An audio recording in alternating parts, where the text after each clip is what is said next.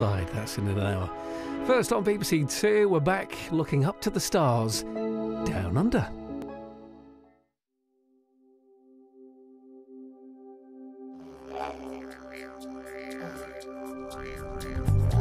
We've trekked for hours into the Australian bush.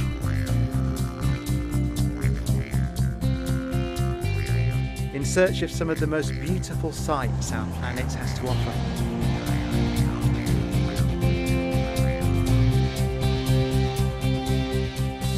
We've come to a place of amazing scenery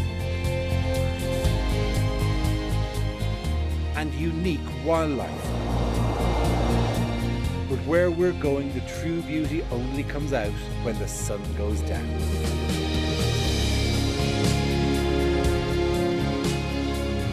Because crowning all this is a glorious night sky.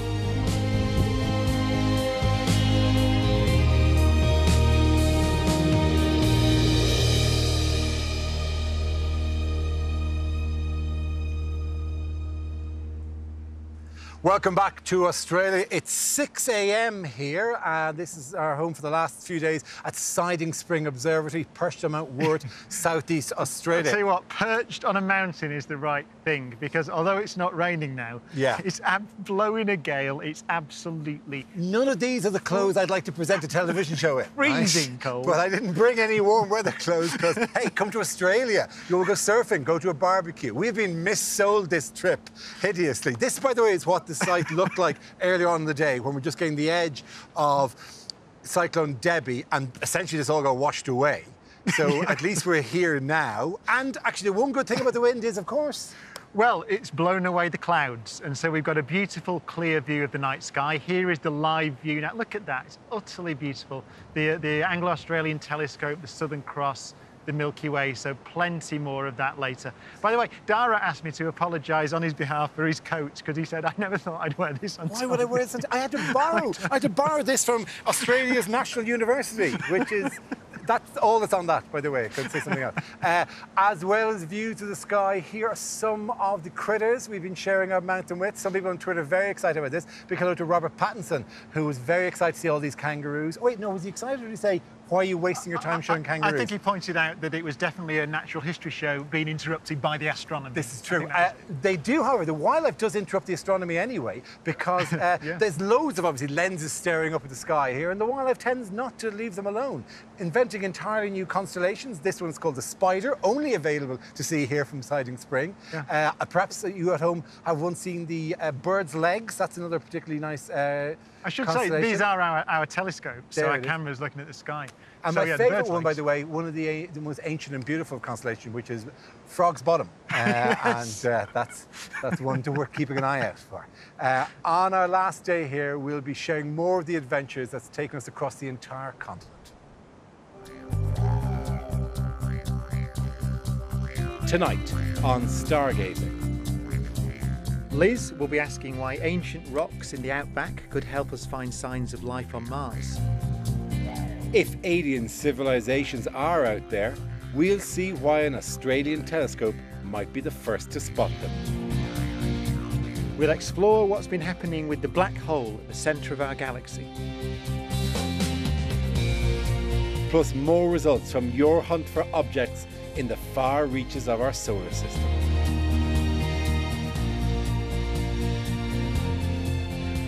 Actually, the, the Planet 9 results, we're going to discuss them later. They are, they are interesting. As, as I emphasised on Tuesday, it's real science, this, and we have real science to talk about. We've had, I think, about 4 million hits so far. So it's the, the, the most number of views that we've ever had in all the seven series of stargazing. So thank you for that, and carry on. But once again, we're in a race against the growing light here in Australia. Sunrise a little over an hour away. The time here it says is about, what are we, about four minutes past six here. Uh, and you- minus 28 degrees. Yeah, okay, can you see my breath? Uh, you can send in your questions. And this, by the way, the fire was a prop two days ago. It's not a prop anymore. Uh, you can send in your questions and photos via Twitter and the website, bbc.co.uk forward slash stargazing or hashtag ask stargazing. Yeah. Bbc.co.uk, slash whatever. yeah, you know what it is. Question, uh, by the way, uh, here that we got in from Shagor. Very quick answer. Where does all the matter in black holes, uh, where does all the matter that black holes absorb go? Oh, well, it falls into the black hole. It, it, it, stays there essentially, but we think that black holes evaporate. This is what Stephen Hawking is most famous for, Hawking radiation. So, in about one with 100 noughts after it years, it will be, presumably, returned to the universe again. Okay, fine. Uh, the sky is looking great, particularly away from all these lights here, which is where mm. Liz is standing. Liz, what can you see at the moment? Well, we've come down from Mount Woorat a little to get out of this howling wind, which, to be fair, has calmed down a tiny bit. It's freezing cold though, which is why I look like Michelin Man uh, this evening. Um, but we don't care because it's glorious above our heads, isn't it, Greg? It's magnificent. It's just another stunning night, and we're delighted that we can bring this to you on our last night. Greg Quick, of course, our resident guide to the southern skies, is with me. And just take a look at this image we got with our telescopes of the Jewel Box cluster. Look at that. Now, Greg, this is a magnificent site. Uh, where is the Jewel Box cluster and what is it made up of? It's one of my favourites in the sky and it's right there in the Southern Cross next to B Crux. Okay, so it's very close to the Coalsack Nebula that we spoke about a couple of nights ago. That's right, Coalsack Nebula's right in there. And how many stars in it? Oh, look, there's at least 100 in there. If you look at it with a pair of binoculars, there's 100 different coloured stars, which is why they, it's called the Jewel Box. Uh -huh. They're about 8,000 light years away. And it's the sort of thing that, you know, this, the galactic open star clusters, of which this is one, they're like the, the villages and the towns of stars. And this one's probably a little bit bigger than a little village. It's a, you know, more like a small town. And they're incredibly colourful. They are. The colours in them are, are beautiful. They, you know, we've got the red, which tells us that the stars are cooler. And the, the hotter ones are white or blue, which sounds a bit counterintuitive until you Think about heating up a piece of iron and it goes red hot first and then it goes white hot. See, that makes sense. Yeah. That's a fantastic description. Mm. And another beautiful description, of course, is the one that Herschel made when he first saw the jewel box. He described its appearance through the telescope as a superb piece of fancy jewellery. It really is, isn't it? Oh, and it's, it's magnificent. Yeah, it's lovely that our telescopes could pick it up for, for us tonight. Um, another feature of the southern skies I've really been looking forward to seeing, of course, is the Carina Nebula. And here's an image of it from one of our telescopes. Can you believe this is what we can capture down here? It's so bright and it's so big, isn't it, Greg? Well, we've got it up just over here in the sky at the moment too, that little bright knot so in the Milky Way. So it looks to the naked eye like a lovely, soft, hazy mass. That little, yeah, the brightest piece of the Milky Way right there, that's yeah. the Eta Carina Nebula. Yeah, yeah, and then you use a telescope and, and this image comes up. It's just spectacular. Yeah. So describe it for me, Greg. Well, it's incredibly rich, this particular nebula. It's got, it's got stars embedded in it, which it would have been born out of that nebula. It's got bright nebula, it's got ionized nebula, which is, you can see in the colour in there. There's electrons being knocked off molecules in there, so that gas has been turned into a plasma state. There's just so much going on. And, and then it's this huge nebula that contains within it another nebula. Now, we can't pick it that does. up with our telescope. It's seven and a half thousand light years away. But take a look at this Hubble image to see what I mean, because I really want you to tell me oh, yeah, what's going on here. That's yep. just an incredible image. So this star is called uh, Eta Carina itself, and it's embedded in the Eta Carina Nebula. Right. 150 years ago, this was the brightest star in the sky. And it had this massive outburst, and it's thrown out these lobes of material. Yeah. And and it's obscured the light from Look that star. So and that's now, why it's called the homunculus nebula. Two sort of lobes around this star, which are not yet fully un, fully understood. Um, but it's all this dust around it. it. It's just really incredible. But can we just leave you with the image that our telescopes captured of the Carina Nebula, yet another mesmerizing sight in the southern skies? Beautiful. Planets of our galaxy, but it's also perfectly placed to receive transmissions or messages or any information that might come from our totally from out see, there. and lots of you have been asking about aliens and alien forms. Tor from St. Bede's Science Department yeah. says, how do scientists look for life on other planets?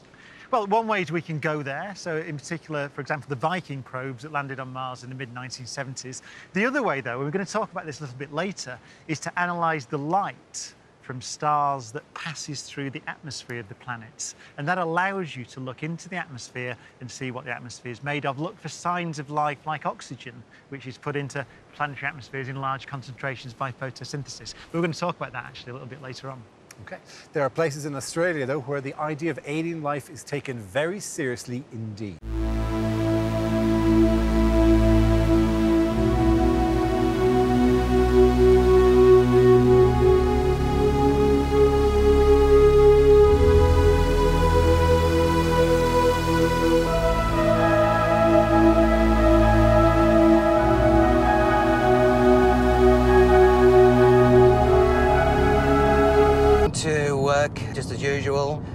And it was around about quarter past eight in the morning. Doug Moffat is an amateur astronomer with a story to tell. When I looked in the distance, I saw a a black object hanging silently and very still in the sky. I had no explanation for what this object was. He's been investigating UFO encounters for the past 20 years. Wycliffe Wells' UFO history goes back to the Second World War during the 40s when servicemen based at Wycliffe Wells saw repeatedly objects that they could not explain. During the last 70 years, there have been hundreds and hundreds of sightings in this very remote part of Australia. You might wonder why aliens seem so keen on an isolated part of the Australian outback. Why Wycliffe Wells is a very interesting question. It's so flat here and there's so, well, there's no light pollution. There is nowhere for ET to hide. The likelihood of us confirming ETs probably largely depends on whether science gets on board and treats this subject as a real science and starts doing some real investigation. Well, there's good news for Doug. The hunt for alien life just got serious. And another remote part of Australia is in pole position to spot it. Seems like an awful waste of stars and planets if, if we're the only intelligent life in, in, the, in the universe. Australia is very fortunate in that the centre of the Milky Way goes literally over the top of this dish every day. The centre of the Milky Way is where most of the stars we can see are and where alien life may be. Professor Matthew Bailes is part of a coordinated global effort to find alien civilizations. And while he doesn't think they've made it to Earth in person, there are reasons to be optimistic. In 2007, this telescope picked up a mysterious signal. I remember that night I couldn't get to sleep. I was so excited. This thing was both so loud and so incredibly far away that it must represent a new phenomenon. This intense pulse, later dubbed an FRB or fast radio burst, was a complete mystery and a complete one off. Until six years later, when another 10 signals were detected. We know that they're coming from enormous distances in the universe, and the amount of power that they require is something completely incomprehensible to us, and we thought was almost theoretically impossible. Impossible signals prompted impossible explanations. I think the most radical theory is that if aliens are using radio waves to propel spaceships across the, the galaxy, that during the short, intense burst of radiation that they use to propel them, that would generate something that looks a hell of a lot like an FRB. I think it's a pretty nifty idea, and the fact that we've been detecting these things that maybe aliens were like launching spaceships is, is pretty cool stuff. Although Matthew is yet to be convinced by the alien spaceship theory, a new urgency has taken over the global effort to find alien life. It's time to commit to finding the answer to search for life beyond Earth. Physicist Stephen Hawking has teamed up with a wealthy Russian entrepreneur in the $100 million Project Breakthrough Listen. And as its first step, Matthew has kicked off the biggest search for alien life ever undertaken. This telescope will search far deeper than we've ever done before. A million stars in total will be surveyed for alien transmission. There's going to be a supercomputer in that tower, which is going to divide the, the spectrum into a billion radio stations that we're listening to. It's not a guarantee of success, but it's certainly going to be so much better than anything we've been able to achieve before. And there's no one more eager for Matthew to find answers than Doug Moffat back in Wycliffe Well. Never saw the object again. Uh, I never seen anything like it again. To this day, I'm not really have any explanation as to what that could be. Given the immensity of the universe, we're certainly not alone.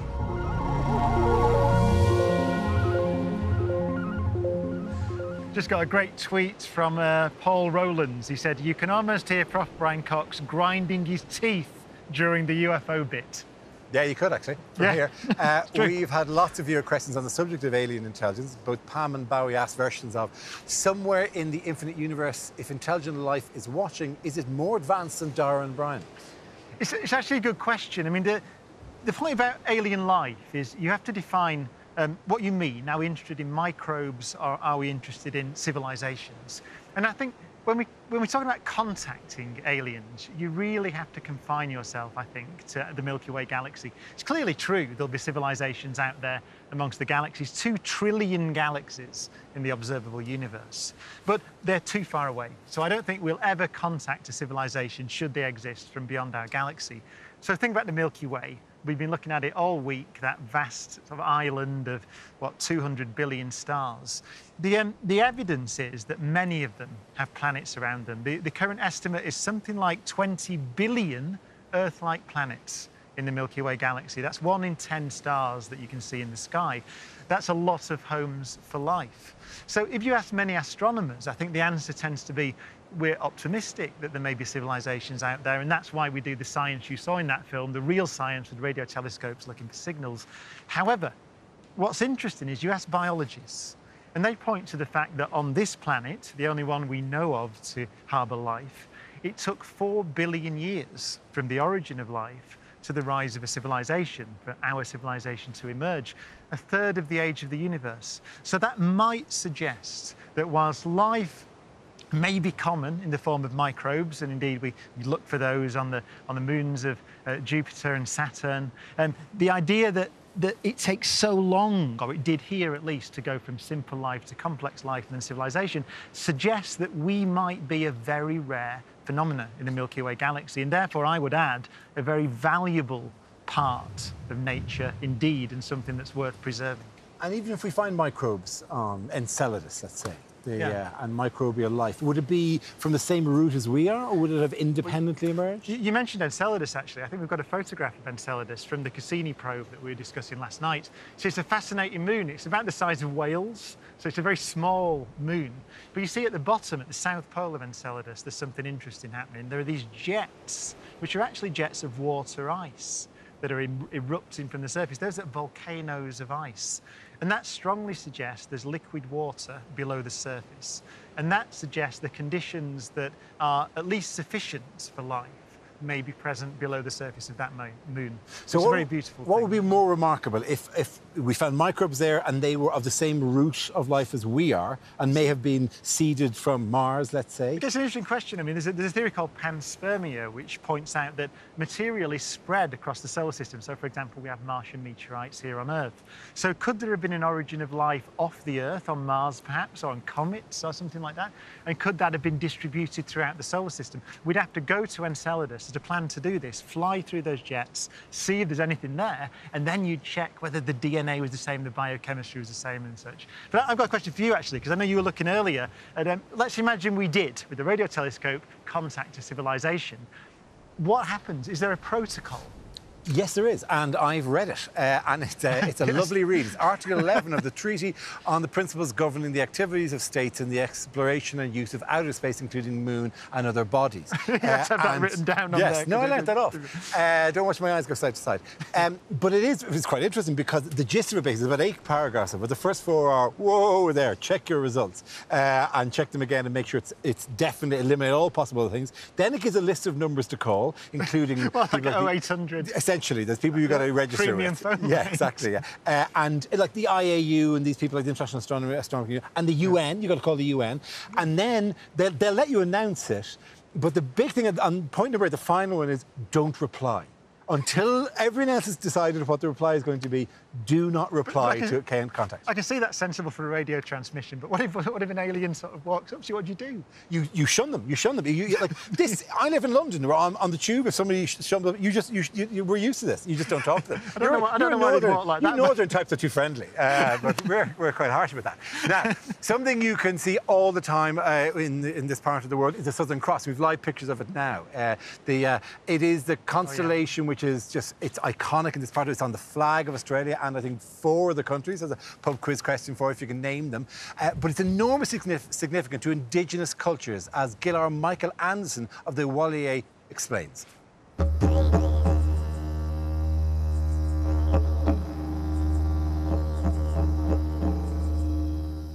The Southern Cross um, is an important place for us. Um, it tells us the story of um, the pathway to what we call Woollymer. Woollymer is sky camp or heaven, as they call it in the Christian world, where Baimi, the creator, lives. Baimi realized that in this coolibah tree that's sitting by the Warrumbul Milky Way, he saw these five white cockatoos sitting up there. And um, so he, he told them, no, this is a good idea. You, you stay here now and you be the pointer so that you show which way home is. Yesterday, we mentioned how Siding Spring Observatory discovered the oldest star, the oldest star we've discovered, 0313. How old is it? It's about uh, 13.6 billion years old. Um, the, the, the universe is 13.8 billion years old. So this is a star that formed maybe 100 million to 200 million years after the Big Bang, one of the first stars in the universe. Now it's visible in the southern sky. It's very faint actually, but it's, about, we've got a, it's between the Magellanic Clouds, the large and small Magellanic Clouds. So on that photograph, if you draw a line between them, it's somewhat above that. Oh, actually, we put a nice circular graphic That's on there. so the it's- thing. It's in there, and we can zoom in there to take a look at this star 0313. And how would, how would we tell how old it is? It's a good question. It's in the centre of that photograph. All we have is light, if you think about it. That's all astronomers have. But there's a lot of information carried in light. Um, if you look at the light from a star, you can pass it through a prism, essentially. So it's just like a rainbow. You pass white light through a prism, you get all the colours of the rainbow. What you see when you pass starlight through a prism is that you see it's not a continuous rainbow. There are bits missing. And those bits missing at very specific colours correspond to different chemical elements in the star itself. See, I find this, this is probably my favourite thing, maybe in all of science, because it goes from the very tiny to the very, very huge. Just so people could ever understand that just at, at- the smallest of levels, the elements are, have a, a nucleus and they have electrons go, floating around them in various orbits. Yeah. If you bump energy into the electron, it'll jump up an orbit. Yeah. So it'll absorb a certain energy, but it'll also drop back and emit energy. Yeah. So every element, because those orbits are unique to the element, every element has a unique kind of signature, colour signature. Colour signature tells you about the structure of the elements themselves. And we've got, a, uh, we've got a, I was going to say, diagram. It is Yeah. a demonstration. So if I light that, And what one are you like? You're lighting this the- has got boron in it, the element boron. Right. This is strontium, and this is more commonly people have seen Yeah. this before. This is copper chloride. You see that? That's rather beautiful. So we've got green there, red there, and yellowy green here. So you see the signatures of those elements. This is what you see in the starlight. The thing about that oldest star, though, 0313, is you look at it and it's a very pure star. It is essentially only hydrogen and helium, a little bit of lithium, nothing else. Now, those elements were made at the Big Bang. The heavier elements, so strontium or iron, carbon, and oxygen, the elements out of which we are made, are made in the cores of stars. So you need generations of stars to take the, the primordial hydrogen and helium, if you like, convert them into the heavier elements. They get incorporated into younger stars like the sun, and you see that in the spectrum of the light. So if you see a star that has not got iron or oxygen or carbon or any of the heavier elements, you know that it formed very early on in the history of the universe, and that's how we date stars. And very quickly, this is different to the starlight itself looking blue or looking red. Oh yeah, so when you see colours in stars, like uh, uh, Betelgeuse, so go out tonight after the show, look at Orion. We've said that after every show. I think the top left-hand hand star in the UK, it's red. Why is it red? Because it's cool. So that's the temperature of the star. But we're talking about the, the colours in the spectrum when you pass the light through a prism. That's how you see what elements are in. That's beautiful. That isn't it? It's warm as well. Warm should say. It's yourself at, my, at my strontium fire. That's my new science fiction novel. Strontium Uh, fire. Let's see what's happening with Liz and Greg. Would you mind throwing a bit of that flame our way? yes, please. Uh, actually, we don't mind being here, even though it's a little bit cold. We're under this, and it's just a glorious sight as ever. Uh, we've got some more questions for Space Gandalf. Actually, do you mind us, everybody on Twitter and everybody else, calling you Space Gandalf? Call me whatever you like, Good it's man. fine. Good man. Are you ready for a couple of questions? Sure. Yeah, I love questions. We've been talking a lot about what we can only see here in the southern skies, but Jules on Twitter wants to know why we can see constellations like Orion from both hemispheres. Ah, great question. And the answer is Orion sits above the equator of the Earth. It sits on the equator in the sky, or the celestial equator. And that means people from both hemispheres can see it easily. Okay, and then you've got other constellations and objects that are a little bit further away from that equator that you might be able to see on both. And then the further you, the further you, or the closest you Yeah. get to the poles, then the northern hemisphere won't get to see the southern hemisphere objects, and vice versa. Yeah, there's a, there's a particular line depending on where you are on the planet. There'll be a circle in the sky where you won't see the stars, Yeah. and there'll be a circle in the sky where you will always see those stars and they won't go below the horizon. Lovely, very And those stars are circumpolar. Yeah, yeah, the ones right at the poles.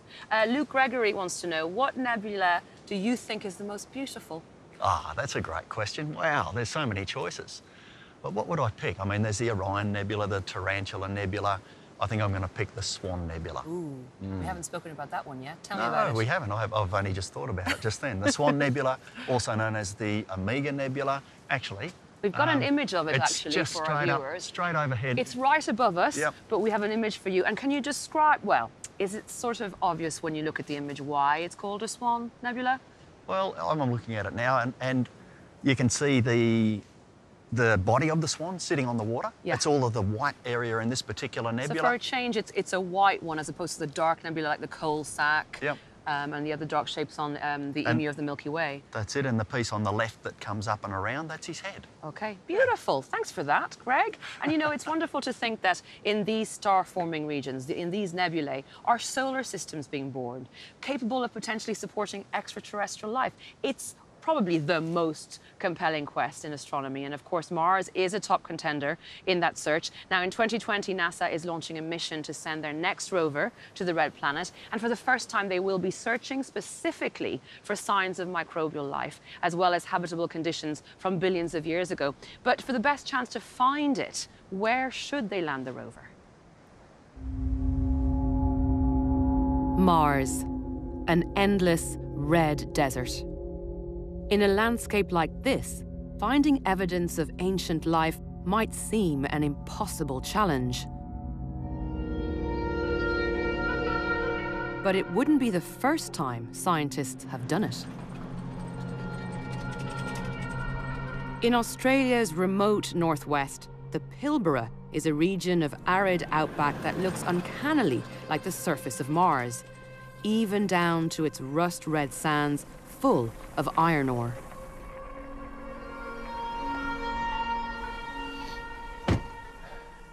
It's spectacular. Welcome to the Pilbara. Some heat, though. Yeah, it's a little mild summer day, about 39 or so. For over 20 years, Professor Martin van Kranendonk has painstakingly searched these desolate hills Gosh, this is magnificent. Yeah. For evidence of Earth's earliest life. What makes the Pilbara so special then? Well, the Pilbara is just one of these flukes of nature, one of those magical little spots that have just stayed like it was three and a half billion years ago. So we can investigate early Earth like we were there.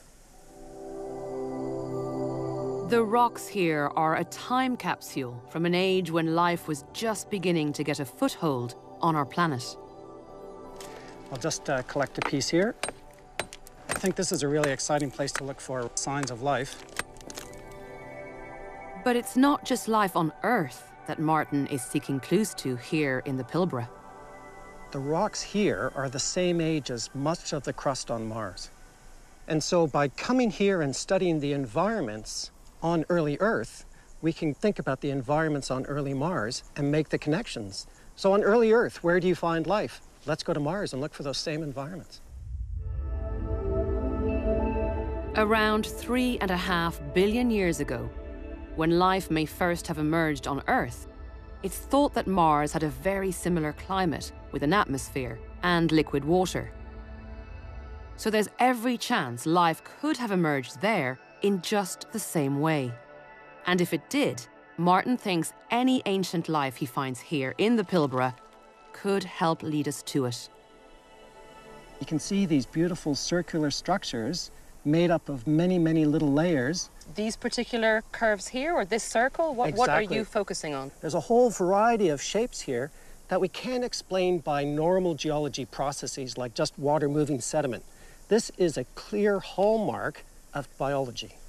But these aren't fossils as I would know them. They're not remains of actual animals, are they? These structures are called stromatolites. A stromatolite is actually a rock term. It's a structure in the rock. And they're basically the apartment buildings of tiny microbes, millions and millions of them, all living together. And the microbes make the structures in the rocks three and a half billion years ago. These really represent the ancestors for all of life on Earth. These are our great, great, great, great, great, great, great grandmothers and grandfathers. This is the beginning of everything that we know about life on Earth. And really, it also is our touchstone for understanding where we might be able to go to search for life on Mars. When the next Mars rover lands and begins its mission in 2021, Martin believes these are the signs of life it should be looking for. That's because the climate changed so quickly on Mars, it's unlikely emerging life developed any further. But it still leaves the question where should the new Mars rover focus its search? Most sites that NASA has considered are ancient Martian lakes and shallow riverbeds, because the first life on Earth is believed to have evolved underwater. But last year, Martin discovered something here in the Pilbara that challenges that fundamental idea.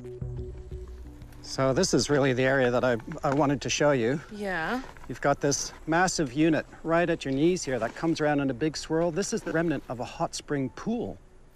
And we have some of the earliest life on land in freshwater springs. Where's the evidence of the stromatolites here? It's just up here in these little black layered rocks. Can you see there's this one layer? These are microstromatolites. They're quite different looking to the ones we saw before. That's right. So in early Earth, we have different habitats. And here in the hot spring setting, totally different features.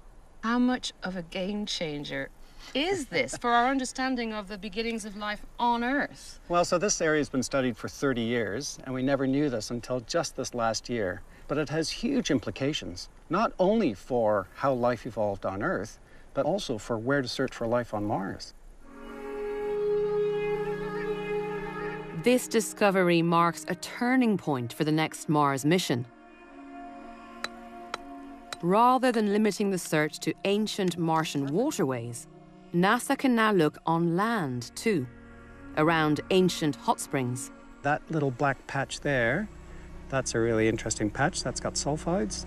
And Martin thinks he knows exactly where they should go.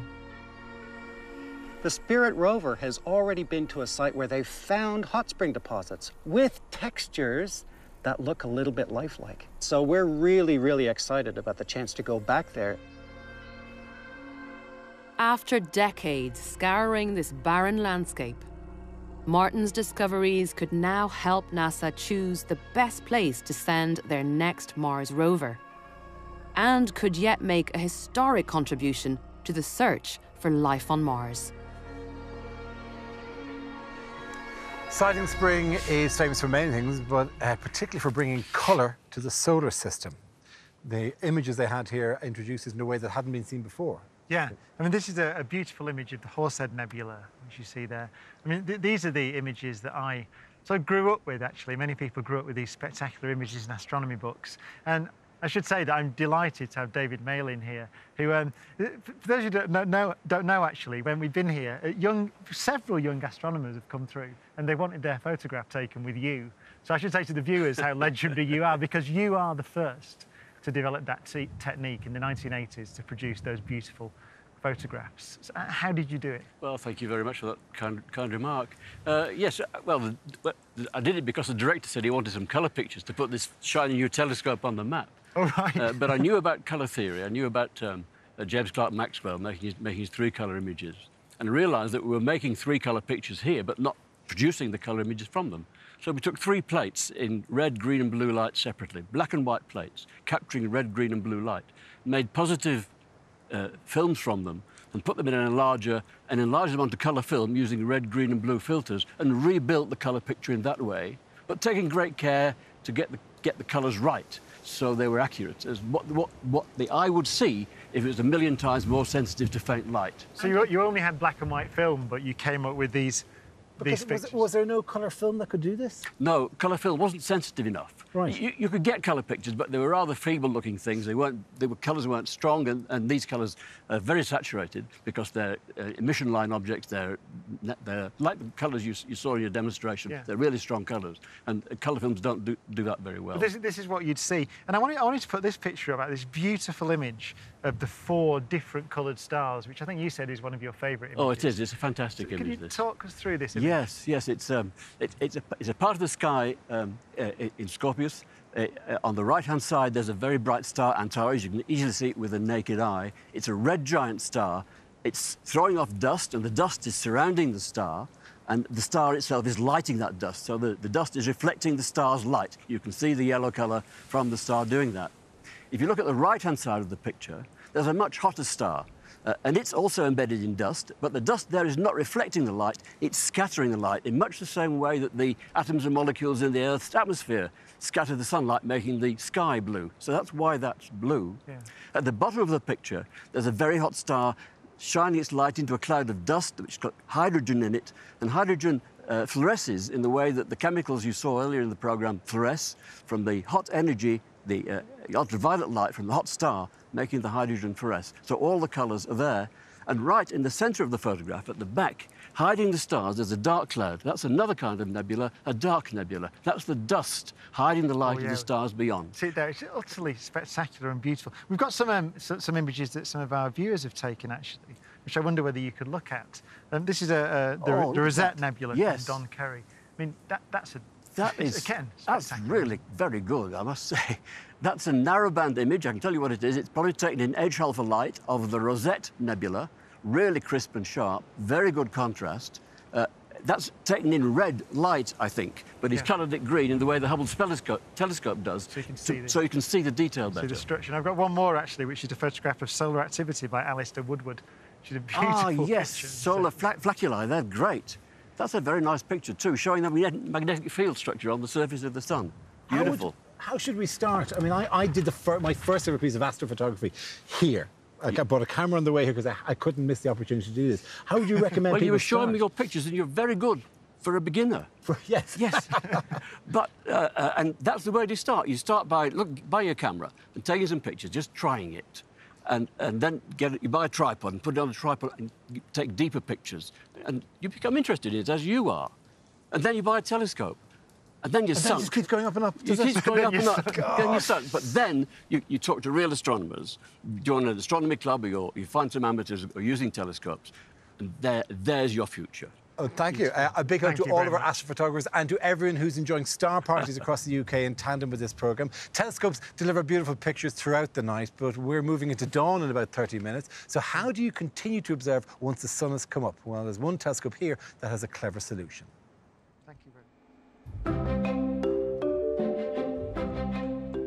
Emerging from this pretty impressive clamshell dome is a telescope that's part of an 18 strong global network of instruments. And because it's a network, it's capable of doing things no single telescope here can do.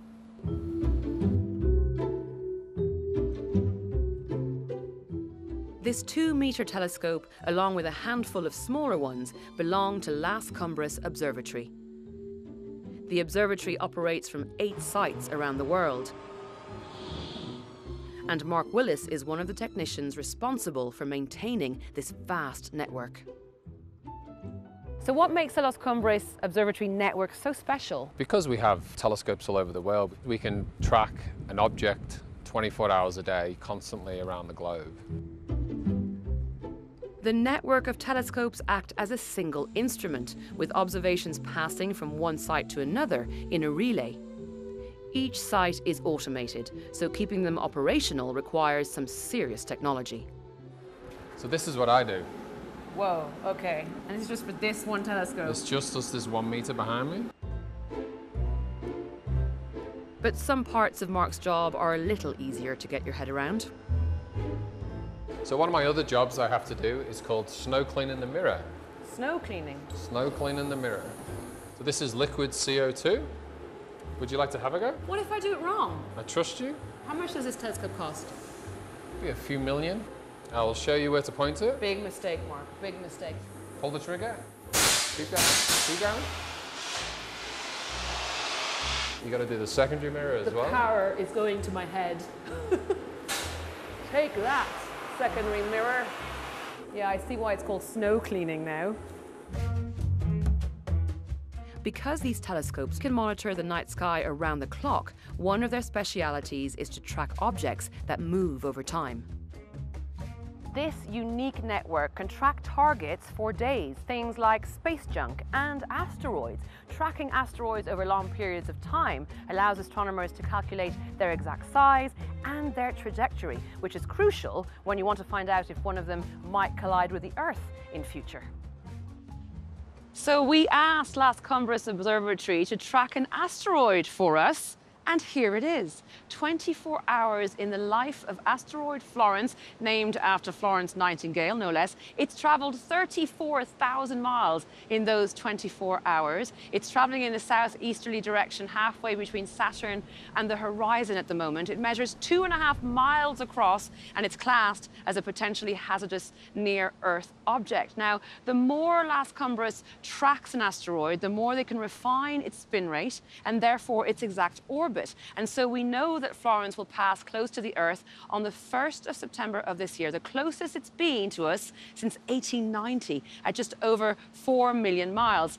So Florence doesn't pose any real threat now, but the thing is, space is a dynamic place. As an asteroid travels past planets and moons, it can get diverted from its current course because of their gravity and come dangerously close to our planet, which is why Las Cumbres is so very important and why it will be keeping a very close eye on asteroids like Florence for a long time to come.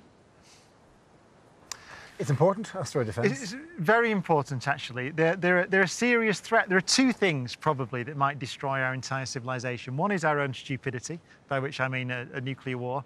Uh, the other one, probably, uh, is, a, is a big, well, probably, but the other way you could do it was a big asteroid hit. I want to show you this video, actually, from Russia. It was uh, February 2013. This is an image from a, a car of a 12,000 ton uh, asteroid entering the Earth's atmosphere a 12,000 ton piece of rock. That exploded with the force of 30 Hiroshima bombs. Um, fortunately, very high in the atmosphere. You can imagine if that had come in at a different angle, it could have caused significant damage. The Russian foreign minister, actually the Foreign Affairs Committee chief, said on Twitter, uh, instead of fighting here on Earth, people should be creating a joint system of asteroid defence. And I strongly believe that. It's unlikely, but at some point we will be threatened by a big asteroid. I mean, we've been hit many times before. Yeah. And now, if I look up into the galactic heart of the galactic centre, I'm looking into the heart of the galaxy, which means I'm looking straight at a supermassive black hole, 26,000 light years away. Yeah, the trouble is, though, you can't see a black hole almost by definition. So how do we know they're there? For decades, astronomers believed that the only view we'd ever get of a black hole would be from the imagination of filmmakers. But modern astronomy has proved them wrong. This image from the first black hole ever to be identified shows a glowing jet of X-ray radiation spewing out as it feasts on a passing star. Evidence like this is rare. Even so, we now believe that supermassive black holes exist at the centre of every galaxy, including our own. The first strong evidence that there is a supermassive black hole at the centre of the Milky Way came from a 10 year study of a population of stars orbiting close to the galactic centre. Now, from the details of these orbits, we can tell that they're orbiting around something that is very small, very massive, and therefore very dense, but we can't see it. It looks as if there's nothing there. And we can calculate the mass of this thing. And it turns out that it's around 4 million times the mass of the Sun. It could only be a supermassive black hole. But there's one thing that seems to be missing from our black hole. There is no sign of any of the radiation and X-rays you might expect to be emitted from the vicinity if there's gas and dust falling into it. So I suppose that's a bit disappointing in a way. I mean, far from being the star-eating monster of science fiction, our black hole seems to be rather dormant and peaceful. But in 2011, astronomers made a stunning discovery. It appeared that the sleeping giant was about to wake. During a routine search through data, astronomers in Munich glimpsed this mysterious object. Now, it's not very massive, about three times the mass of the Earth. It's probably a cloud of gas and dust, but it was heading directly towards the black hole at the center of our galaxy.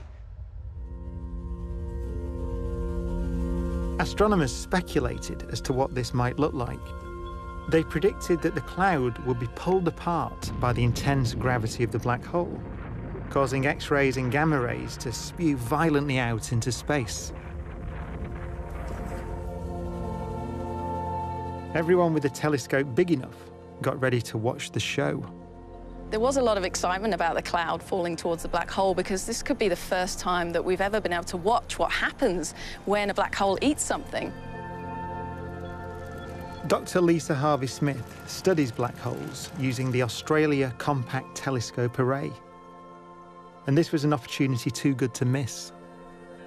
Events like this that you can watch live are so exciting in astronomy because usually we're watching things that happened millions of years ago. This is really a once-in-a-lifetime opportunity for us. As Lisa waited, astronomers ran simulations to try to predict what would happen. Black hole science had reached fever pitch. And as the world watched, the gas cloud sailed straight past. Well, despite having all these telescopes around the world and even in space trained on this event, unfortunately we saw pretty much nothing. And that was a bit of a puzzle at the time, a bit of a disappointment for everyone. Perhaps our black hole wasn't all that it was made out to be. But then, just as the world began to turn away, a team from NASA brought our black hole back into sharp focus. The Chandra X-ray telescope had been observing the black hole in the months following the predicted collision. But it took the astronomers some time to analyse the data they published in January 2015. And they saw two sudden bright bursts of X-rays emanating from the black hole. Sadly, the timing was out. The astronomers found they occurred two months after the gas cloud was predicted to collide. And there's currently no scientific consensus as to whether they are linked to the gas cloud or not. However, our black hole may be about to do something spectacular. Well, there's a really exciting event coming up, luckily. Next year, there's a very massive star that we know is orbiting around the black hole. This is, again, a once-in-a-lifetime event. We don't get to see things passing close to black holes very often. So, once again, the world's telescopes will be focused on a spot 25,000 light years from Earth. I think our black hole has a lot of secrets yet to unfold, so we'll all be watching very closely.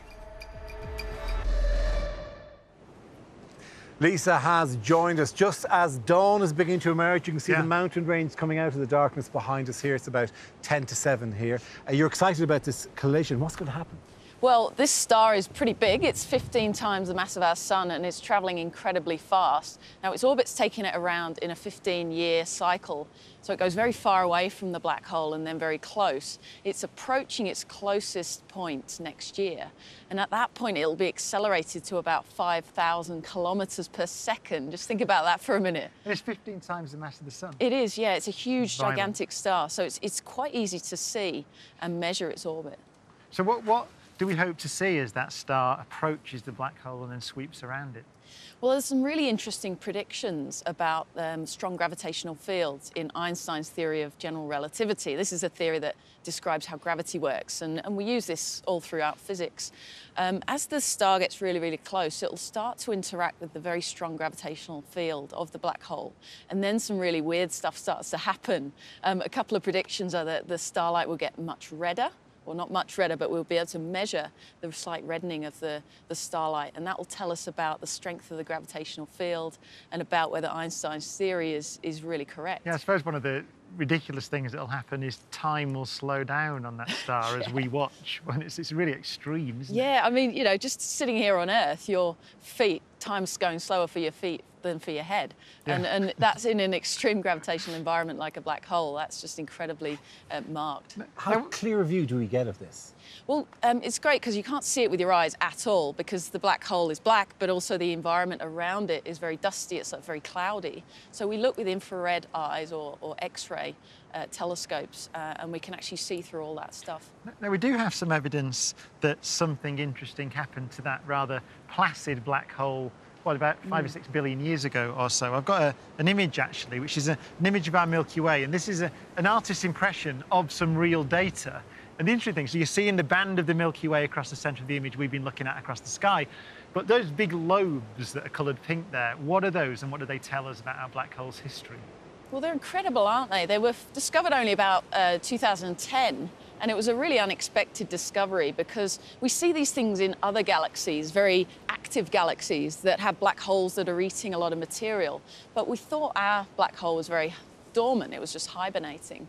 In fact, these bubbles that have been blown out of the galaxy above and below the galactic plane show that about six million years ago, our galaxy had a meal that was about 100,000 times the mass of our sun. So it started eating a lot of material all at once and it burped. Six, six billion, wasn't it? It was Six billion. No, six million. Six It's- Yeah, it's very oh, right. recent. Oh, so six million. Very recent. So it's yeah. a recent thing. I just wanted to pick this up. We've just got time to show this image, which is, a, an, again, an artist's impression of what the Event Horizon project might see. And this looks like a black hole. It's So incredible, yeah. I mean, you can see the black hole in the middle, obviously, but you can see all this light around it, and that's light stretched by gravitational lensing, an effect where gravity actually smears and stretches light around massive objects. This is the Event Horizon Telescope, which is up and running. It's expected to be um, looking very close to the event horizon of that supermassive black hole uh, around the end of this year, and it's made up of a global array of different radio It's gonna be telescopes all working together. Thank you very much, Lisa. Thank you very much, Lisa. Cheers. The sun will soon be rising here, as I said. You can see it lightening up around us. Uh, uh, but for Indigenous Australians, the sun has a special significance. Here's Ghillar Michael Anderson again.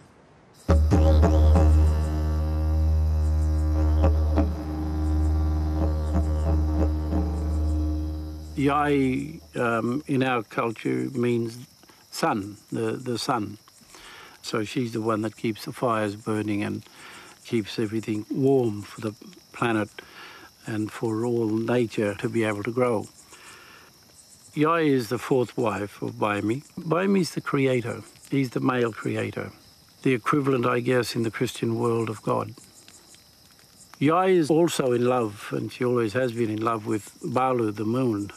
These two have always had a secret admiration for each other.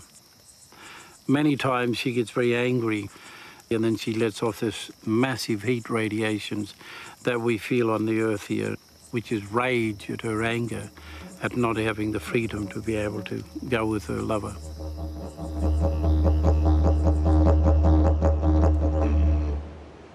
Since Tuesday, a mini army of stargazing live viewers has been hunting for a planet in our solar system that's thought to exist beyond Neptune, but it has yet undiscovered. Chris Lintott or Clint Liftoff, who are you tonight? Who can tell? uh, what's been found so far? Well, we haven't found Planet Nine, But we did find lots of other interesting things. More than 4 million views of our images have come in, and it was immediately obvious that we were finding lots of unknown things in the sky. So we were checking through, and first of all, we were looking for moving things, and we found things we expected. So the dots in the bottom here, left actually. here, the coloured dots, that's Chiron. That you can see there, which is a large Well, let me asteroid just with circle that. rings. Yeah. So this thing is a large asteroid discovered in the 70s, wasn't yeah, it? I think, out by we- Uranus. So it's what's called a centaur. So we found that. So we're looking in the outer solar system. Yeah. And then we started noticing asteroids that had a no- nasty habit of lining up. So we keep finding images with one, two, three asteroids in a straight line. The line. pictures we showed last night, for example, that turned out turned not out to be two asteroids faking, doing a good impression of Planet But Nine. we should say, though, we've got some candidates for objects that, that are unknown. That's right. Yeah. and so we've got the telescopes pointing So, so finding these known things is good because it tells you it's working, and then we've got a pile of unknown things. And the next stage is to follow up with telescopes. But the um, poor weather, the rain and the wind defeated us. But we have done science. That's the important thing. Yeah. And here's the scientific result on your iPad. So in the centre there, those white circles, those are the orbits of the outer planets with Neptune on the outer edge.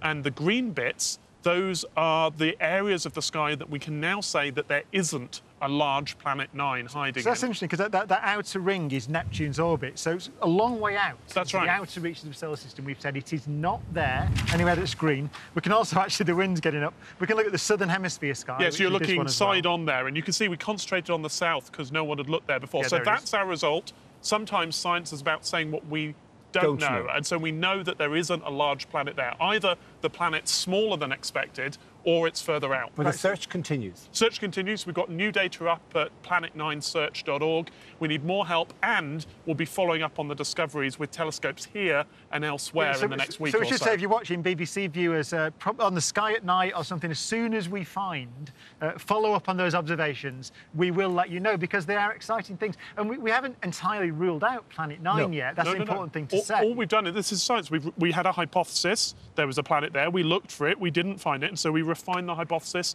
and we keep looking. Lads, it would have been great to announce it on Tuesday and then had it by Thursday, but let's not get carried away with ourselves. With dawn Good breaking science. and the telescopes of sli- sightings been closing after another night of stargazing, it's almost the end of our stargazing adventure too. Here are some of our favourite moments.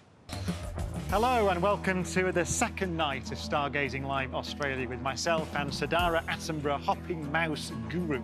Thank you, Postman Pat's friend.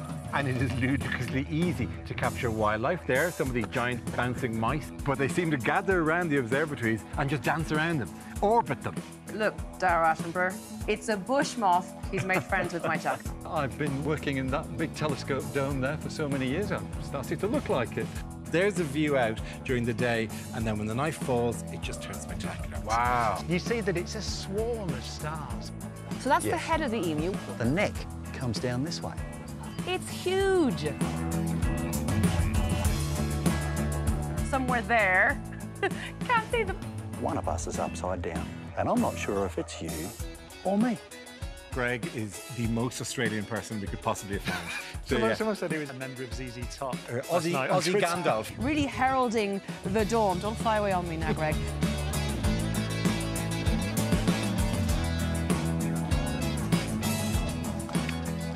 Liz and Greg have joined us. Uh, Greg, it's been a pleasure to have you here. What's been your highlight of the last three nights? Oh, Dara, I think working alongside Liz has been one of my highlights, but also showing Brian Omega Centauri for the first time in a Oh, th- telescope. th- that was that was my highlight. I've always wanted to see that. Seeing that through a telescope with, with Greg, absolutely terrific. Other feelings mutual. Really getting to understand the southern skies with Greg has been an utter privilege. So say something that's not Yeah, Greg. Well, the, the excitement in the room when these candidates came in, we said, this might be it. And then we ran around and chased these targets down. And there'll be lots more of that. And for me, it's taking photographs. Taking photographs, which uh, people do, is the most straightforward part of astronomy uh, Yeah. as an amateur, and and, they getting came to do out that for the first time. I love Yeah. the fact we've been renamed as well. We've got Space Gandalf, Moth Lady, Clint, Liftoff, Sir Dara Attenborough. And Postman Pat. so, it's been a fantastic great trip from Siding Spring. Yeah. We'll see you again soon, I'm sure. From all of us here, good morning and good night. Good night. This fire.